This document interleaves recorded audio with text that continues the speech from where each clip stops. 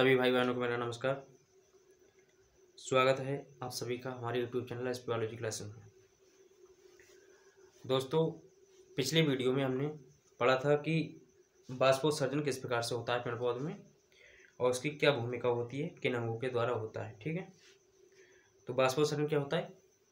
पेड़ पौधों की पत्तियों के द्वारा जो जल होता है, वो बाष्प के रूप में जब बाहर निकलता है सनलाइट की प्रेजेंस में, यानी कि जब सनलाइट तेज होती है तो जल जो होता है, वो गर्म होकर भाप बनकर पत्तियों से बाहर निकलने लगता है, स्टोमेटा के द्वारा या फलरंध्रों के द्वारा बाहर निकलने लगता है, ठीक है? तो इसी क्रिया को कहते हैं बाष्पोत्सर्जन कहते हैं। सीधे सीधे बोल सकते हैं, जब जल पौधे की पत्तियों से बाष्प के रूप में बाहर निकलता है तो इसी क्रिया को कहते हैं बाष्पोत्सर्जन कहते हैं, ठीक है? तो दोस्तों, उसके बाद अब हम जो टॉपिक पढ़ेंगे, वो पढ़ेंगे प्रकाश संश्लेषण। प्रकाश संश्लेषण को क्या कहते हैं? फोटोसिंथेसिस भी कहते हैं। Photo synthesis. ठीक। फोटोसिंथेसिस इसलिए कहते हैं क्योंकि यह प्रकाश संश्लेषण इसलिए कहते हैं क्योंकि यह क्रिया जो होती है, वो क्या किस टाइम पे होती है? जब प्रकाश होता है, तब ये क्रिया होती है और पेड़ पौधे सूर्य के प्रकाश की उपस्थिति में अपना भोजन बनाने में सक्षम होते हैं, इसलिए इस क्रिया को क्या कहते हैं? प्रकाश संश्लेषण कहते हैं। ये फोटोसिंथेसिस कहते हैं कब? क्योंकि पेड़ पौधे जो होते हैं वो सूर्य के प्रकाश की उपस्थिति में ही अपना भोजन बनाने में सक्षम होते हैं। इसलिए इस क्रिया को कहते हैं प्रकाश संश्लेषण कहते हैं। यानी कि वह प्रक्रिया, जिसमें पेड़ पौधे सूर्य की उपस्थिति में, सूर्य के प्रकाश की उपस्थिति में अपना भोजन बनाते हैं या भोजन बनाने का कार्य करते हैं, उस क्रिया को कहते हैं प्रकाश संश्लेषण। जब पेड़ पौधे पेड़ पौधे सनलाइट की उपस्थिति में सन लाइट की उपस्थिति में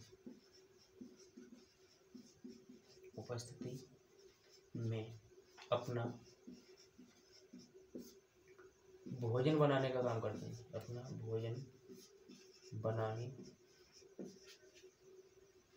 का काम करते हैं या भोजन बनाते हैं। भोजन बनाते हैं। तो वो क्रिया क्या कहलाती है प्रकाश संश्लेषण कहलाती है। ठीक है? अब जो प्रकाश संश्लेषण क्रिया होती है, उसमें सबसे ज़्यादा मेन रोल होता है पेड़ पौधों की पत्तियों में, जो एक हरे कलर का पिगमेंट पाया जाता है या हरे कलर का वर्णक पाया जाता है, जिसे हम हरित लबक कहते हैं। ठीक है? जो पेड़ पत्तियाँ, पेड़ पौधों की पत्तियाँ होती हैं पेड़ पौधों की जो पत्तियाँ होती हैं, वो ग्रीन कलर की दिखाई देती हैं। ठीक है? कैसे दिखाई देती हैं? ग्रीन कलर की दिखाई देती हैं। अब ये ग्रीन कलर होता क्यों है? ग्रीन कलर क्यों होता है? तो ये ग्रीन कलर होता है, वो क्लोरोप्लास्ट के कारण होता है। क्लोरोप्लास्ट के कारण होता है। क्लोरोप्लास्ट को हरित लवक भी कहते हैं। क्या कहते हैं? हरित लवक। पेड़ पौधों में जो पत्तियाँ होती हैं, उनका रंग हरा क्यों होता है? वो हरित लवक के कारण होता है। ठीक है? तो हरित लवक जो होता है, उसमें दो स्पेशल प्रकार की संरचनाएँ पाई जाती हैं, जिन्हें स्ट्रोमा जिन्हें स्ट्रोमा एक होती है स्ट्रोमा लैमली स्ट्रोमा लैमली और दूसरी होती है ग्रेना ठीक है? तो ग्रेना जो होता है ग्रेना में क्लोरोफिल प्रेजेंट रहता है ग्रेना में, क्लोरो ग्रेना में, क्लोरोफिल उपस्थित रहता है, या ठीक है, क्लोरोफिल उपस्थित रहता है। तो स्टोमेटा का पहले चित्र देखते हैं, उसके बाद में उसकी और आगे की डिटेल को जानेंगे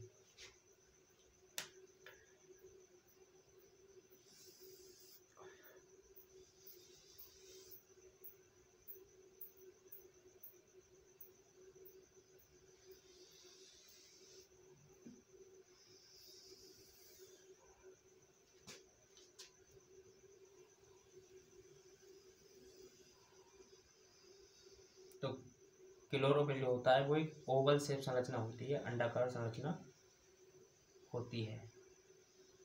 और ये सभी पेड़ पौधों की हरी पत्तियों में पाई जाती है, ठीक है? इस प्रकार से क्लोरोप्लास्ट में कुछ क्वाइंस जैसी या सिक्कों के आकार की संरचनाएँ लगी होती हैं, सिक्कों के आकार की संरचनाएँ पाई जाती हैं।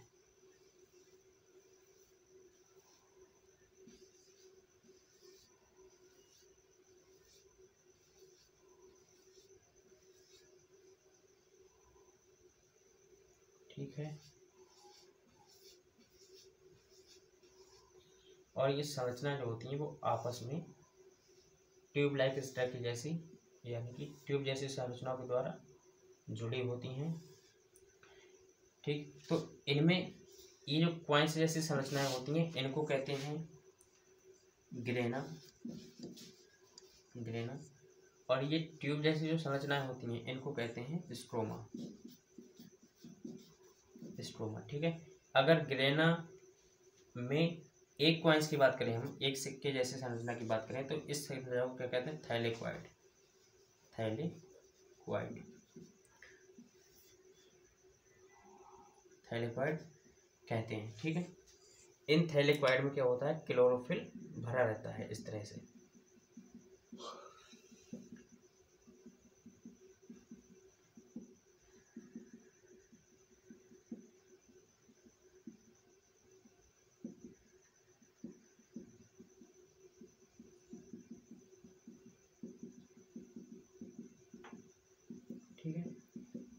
तरह से थैलेक्वाइड में क्लोरोफिल बना रहता है।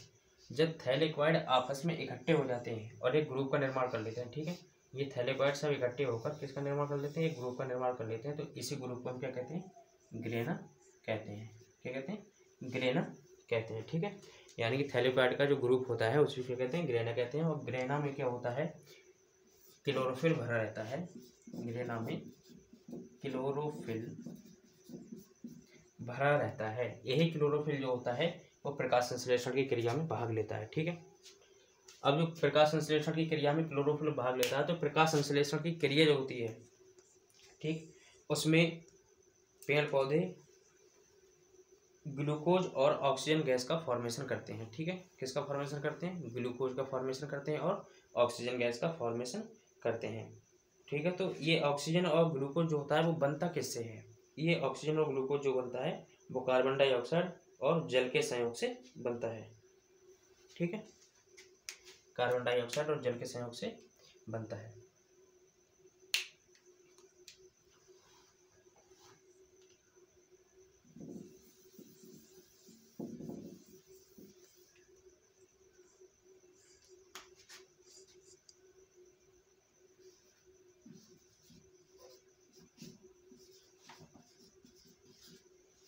क्या बनता है? ग्लूकोज ग्लूकोज का formula C six H twelve O six plus क्या बनता है? सिक्स ओ टू ये क्या बनता है? ग्लूकोज बनता है और ऑक्सीजन गैस बनती है फोटोसिंथेसिस क्रिया में। ठीक है? उसके बाद ये फोटोसिंथेसिस क्रिया जो होती है, वो दो स्टेप में कंप्लीट होती है। एक होती है डार्क रिएक्शन और एक होती है लाइट रिएक्शन ठीक है? तो डार्क रिएक्शन जो होती है dark reaction dark reaction. Dark reaction जो होती है वो स्ट्रोमा के द्वारा होती है और लाइट रिएक्शन जो होती है वो, लाइट रिएक्शन जो होती है वो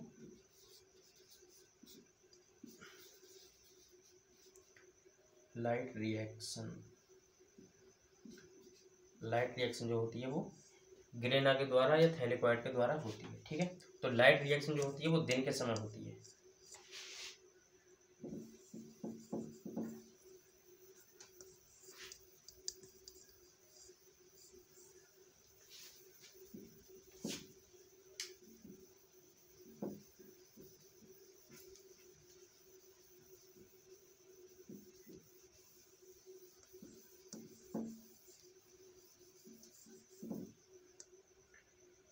सबसे पहले पढ़ते हैं कि लाइट रिएक्शन दिन के समय होती है।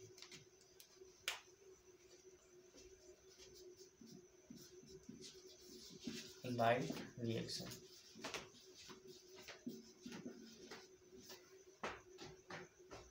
इसको प्रकाशिक अभिक्रिया भी कहते हैं। प्रकाशिक अभिक्रिया क्योंकि ये प्रकाश की उपस्थिति में। ये किसकी उपस्थिति में? लाइट रिएक्शन है। लाइट मीन्स लाइट मीन्स प्रकाश। ठीक है? प्रकाश। तो ये किसकी उपस्थिति में होती है? यह क्रिया। यह क्रिया। प्रकाश की उपस्थिति में होती है। सनलाइट की उपस्थिति में होती है। सनलाइट की उपस्थिति में होती है की उपस्थिति में होती है। ठीक है? इसको हिल अभिक्रिया के नाम से भी जानते हैं, इसको हिल अभिक्रिया के नाम से भी जानते हैं।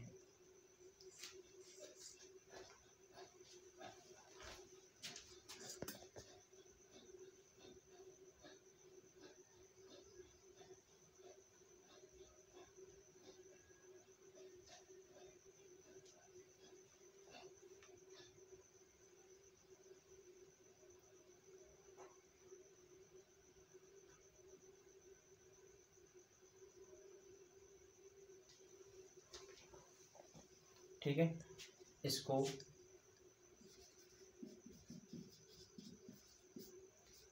हिल। अभिक्रिया के नाम से भी जानते हैं।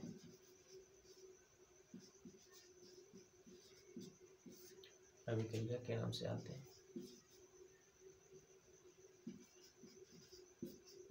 नाम से भी जानते हैं।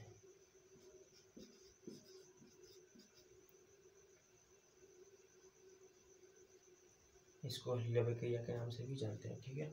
क्योंकि किसके किसकी उपस्थिति में होती है? सनलाइट की उपस्थिति में होती है, इसलिए इसे हिलवे क्रिया के नाम से भी जानते हैं।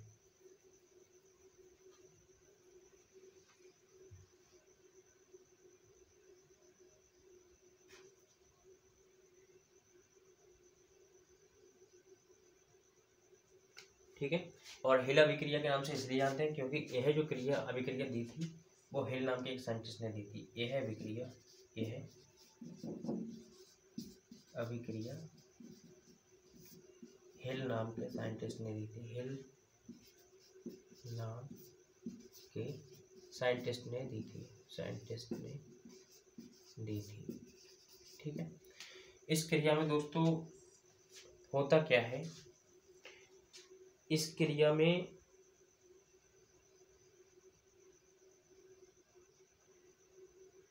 क्लोरोफिल के द्वारा। जल का अपघटन होता है और जल जो होता है, वो आयनों में टूट जाता है। जल जो होता है, वो आयनों में टूट जाता है। ठीक है? जल का क्या होता है? अपघटन। और जल जो होता है, वो आयनों में टूट जाता है। तो जल को अगर तोड़ेंगे तो क्या बनेगा हमारा? हमारा बनेगा फोर एच पे हमारा प्लस आयन होता है।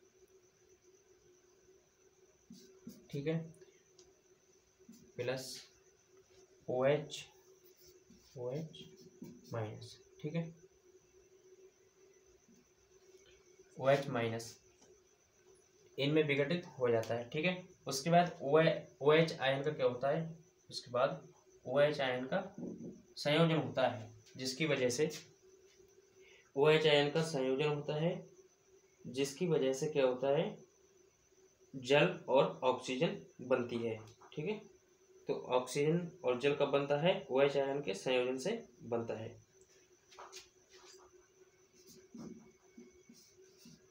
फोर ओ माइनस क्या बनता है? जल बनता है, प्लस ऑक्सीजन गैस मुक्त होती है, ठीक है?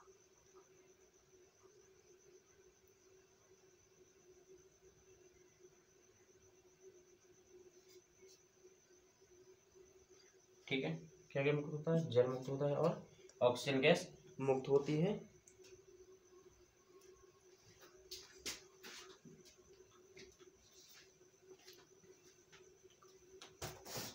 यह क्रिया क्या कहलाती है? हिलवी क्रिया कहलाती है, क्योंकि ये किसने दिया था? हिल के हिल ने दिया था और प्रकाश की उपस्थिति में होती है ये क्रिया। प्रकाश का विक्रिया भी कहलाती है, इसे लाइट रिएक्शन भी कहते हैं, ठीक है? और ये किसमें होती है? ग्रेना में होती है, क्योंकि ग्रेना में क्या पाया जाता है? यह है विक्रिया। किसमें होती है? ग्रेना में होती है। यह है विक्रिया। यह है अभिक्रिया। ग्रेना में होती है। ग्रेना में होती है। ग्रेना कैसे कहते हैं? Group of the thylakoid is called the grana grana में होती है। क्योंकि ग्रेना में ग्रेना में क्लोरोफिल पाया जाता है। क्लोरोफिल पाया जाता है। पाया जाता है, ठीक है। इस क्रिया में दोस्तों होता क्या है? एडीपी जो होता है वो एटीपी में चेंज हो जाता है, जबकि एटीपी जो होता है वो एनर्जी का सोर्स होता है, ठीक है। एटीपी क्या होता है? एटिनोसिन ट्राइफॉस्फेट जो कि एनर्जी का एक सोर्स होता है। यानी कि एनर्जी जो हमें मिलती है वो एटीपी के फॉर्म में भी मिलती है। ठीक है? एटीपी का पूरा नाम क्या होता है? एडिनोसिन ट्राइफॉस्फेट होता है। इसमें एटीपी जो होता है, वो एटीपी के रूप में चेंज हो जाता है। और एटीपी में क्या होता है? एटीपी में प्रचुर मात्रा में क्या रहता है? एनर्जी संचित रहती है। लाइट रिएक्शन उसके बाद क्या होता है?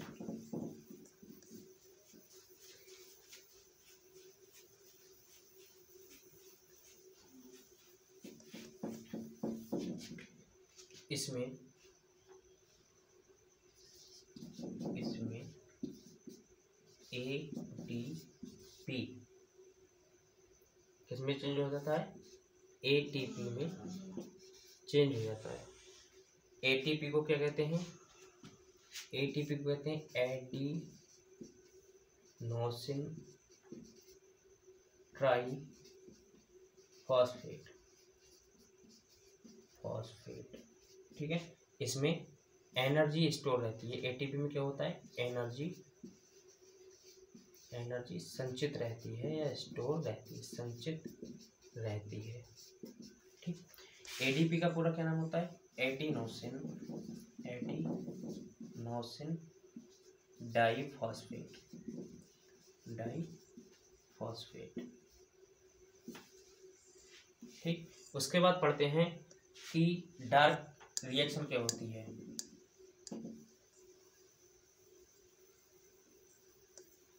डार्क रिएक्शन क्या होती है? और ये किसके द्वारा होती है?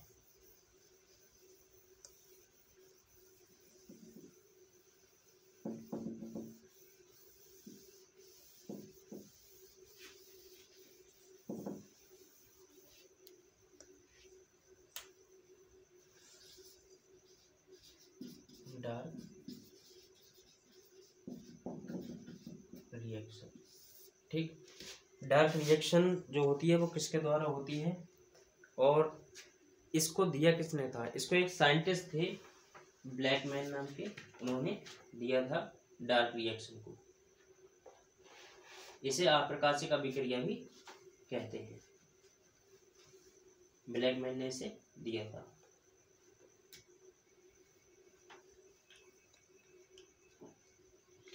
ठीक है इस अभिक्रिया किसने दिया था? ब्लैक मैन ने दिया था। इस अभिक्रिया को कहते हैं अप्रकाशिक अभिक्रिया इस अभिक्रिया कहते हैं अप्रकाशिक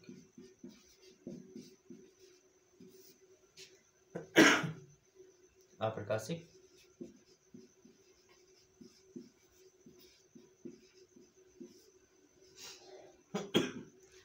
सॉरी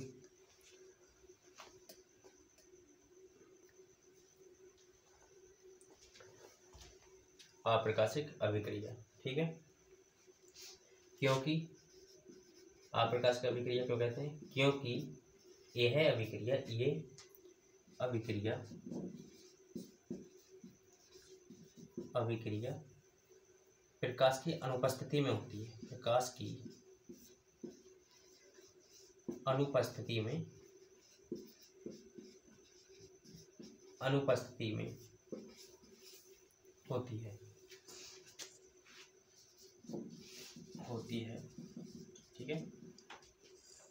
इस अभिक्रिया किसने दिया था? ब्लैक मैन ने दिया था। ठीक है, किसने दिया था? ब्लैक मैन साइंटिस्ट ने दिया था। ब्लैक मैन साइंटिस्ट ने दिया और यह क्रिया जो होती है वो हरित लवक में किसके द्वारा होती है? तो यह क्रिया जो होती है वो हरित लवक में, मैंने आपको डायग्राम बनाया था, उसमें ये ग्रेना थे, ठीक है? ये ग्रेना आपस में किसके द्वारा जुड़े हुए थे? स्ट्रोमा के द्वारा जुड़े हुए थे स्ट्रोमा तो यह क्रिया जो होती है वो किसके द्वारा होती है? यह क्रिया स्ट्रोमा के द्वारा स्ट्रोमा के द्वारा। होती है। यह क्रिया स्ट्रोमा के द्वारा होती है, ठीक है? स्ट्रोमा क्या करते हैं? जो डे टाइम में एनर्जी बनती है। जो पेड़ पौधे की पत्तियाँ होती हैं हरित लवक के द्वारा जो एनर्जी बनाई जाती है दिन के समय में, ये उस एनर्जी को केमिकल एनर्जी की फॉर्म में नाइट टाइम में यूज़ करते हैं। इसलिए इस रिएक्शन को क्या इस अभिक्रिया को क्या कहते हैं? डार्क रिएक्शन कहते हैं, क्योंकि डार्क मीन्स अंधेरा। अंधेरा कब होगा भाई? अंधेरा तभी होगा जब नाइट होगी तो ठीक है? तो ये अभिक्रिया किसमें होती है? नाइट के समय में होती है। इसलिए इसे अप्रकाशिक अभिक्रिया कहते हैं या डार्क रिएक्शन कहते हैं, क्योंकि ये किसमें होती है? अंधेरे में होती है या नाइट के समय में होती है, ठीक है? स्ट्रो यह क्रिया क्या होती है? स्ट्रोमा के स्ट्रोमेट के द्वारा होती है, क्योंकि क्योंकि दिन के समय, दिन के समय ग्रेना के द्वारा दिन के समय ग्रेना के द्वारा, जो ऊर्जा बनाई जाती है, जो ऊर्जा बनाई जाती है, बनाई जाती है, बनाई जाती है, इस ऊर्जा को, इस एनर्जी को स्ट्रोमा स्ट्रोमा केमिकल एनर्जी में केमिकल एनर्जी की फॉर्म में एनर्जी की फॉर्म में उपयोग में, उपयोग करते हैं, उपयोग करते हैं। ठीक है? तो दिन के समय दोस्तों एनर्जी का जो बनती है वो रात में क्या करते हैं, ये केमिकल एनर्जी के फॉर्म में उपयोग करते हैं, क्योंकि दिन के समय में जो एनर्जी बन जाती है भाई नाइट टाइम में भी पेड़ पौधों को जीवित रहने के लिए एनर्जी की आवश्यकता होती है। अगर पेड़ पौधे भी भोजन ना लेंगे अपना तो वो भी कैसे हो जाएँगे? वो भी मर जाएँगे। जैसे एनिमल्स होते हैं, पेड़, अगर वो अपना भोजन ना लें, कुछ दिनों तक, या एक दो तीन चार दिन तक ना लें भोजन तो उनका क्या हो जाएगी? ऐसी कंडीशन में आ जाएँगे कि उनकी डेथ होना पॉसिबल है, यानी कि मतलब बहुत ज़्यादा कमज़ोर हो जाएँगे वो। उसी प्रकार से पेड़ पौधों की भोजन की ज़रूरत होती है, वो भी अगर अपना भोजन ना लें, ठीक तरह से तो क्या होंगे? वो भी कमज़ोर हो जाएँगे या फिर उनकी भी डेथ हो जाएगी, यानी कि सूखने लगेंगे। ठीक है? तो उनको भी रात में भोजन की आवश्यकता होती है तो भोजन की आवश्यकता मिलती कहाँ से? दिन के समय में जो ग्रेना एनर्जी बनाते हैं। उस एनर्जी वो एनर्जी होती है, वो ग्रेना में स्टोर हो जाती है। अब रात के समय क्या होता है? रात के समय जो स्ट्रोमा होता है, जो ग्रेना को जोड़ के रखता है, वो ग्रेना क्या करता है? उस एनर्जी को केमिकल एनर्जी की फॉर्म में यूज़ करता है। ठीक है? यानी केमिकल एनर्जी में चेंज करता है और उस एनर्जी को रात में यूज़ करता है। उस प्रकार से प्लांट अपनी लाइफ को सर्वाइव कर पाते हैं रात नाइट के समय में, ठीक है? तो दोस्तों, ये प्रकाश संश्लेषण का जो टॉपिक था, वो हमारा कंप्लीट हो गया। उसके बाद में मिलते हैं नेक्स्ट वीडियो में। तब तक के लिए धन्यवाद सभी को। बने रहिए चैनल पर लगातार और अपने दोस्तों को भी चैनल को शेयर कीजिए, जिससे वो भी इन सभी वीडियो का लाभ ले चुके हैं, ठीक है? या ले सकें। धन्यवाद दोस्तों।